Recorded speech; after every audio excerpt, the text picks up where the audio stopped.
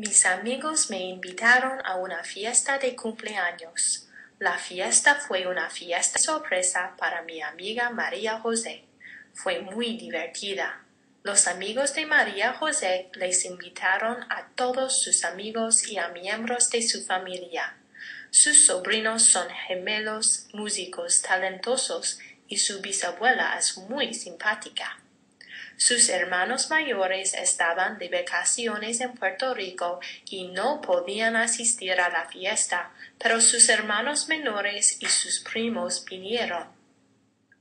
Sus hermanos menores y sus sobrinos también son músicos muy talentosos.